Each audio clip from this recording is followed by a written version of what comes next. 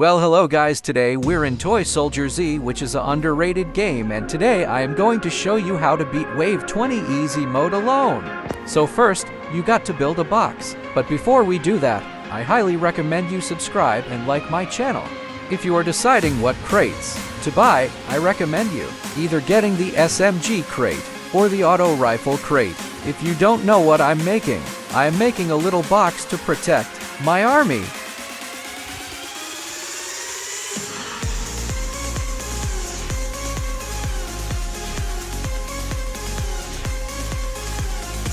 When building walls, I strongly discourage you from placing two or more layers of walls right next to each other as the tank.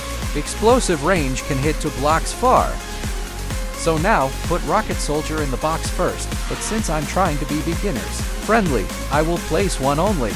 What you primarily need is rockets, auto rifles, SMG, and Sniper S if you have it.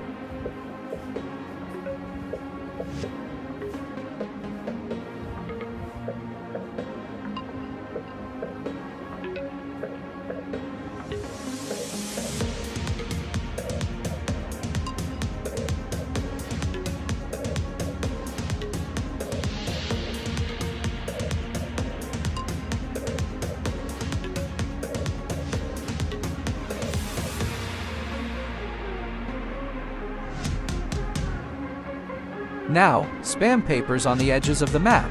Because tanks are dumb, the tanks will destroy the papers first so you can buy yourself some time before the tank destroys your wall.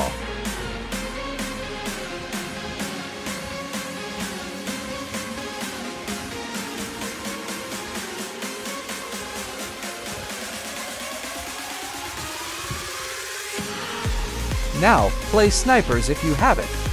Okay, now let's start the wave.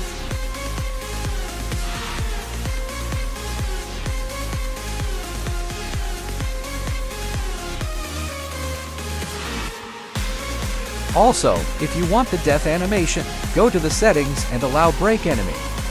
Hopefully you enjoy the video, subscribe and bye!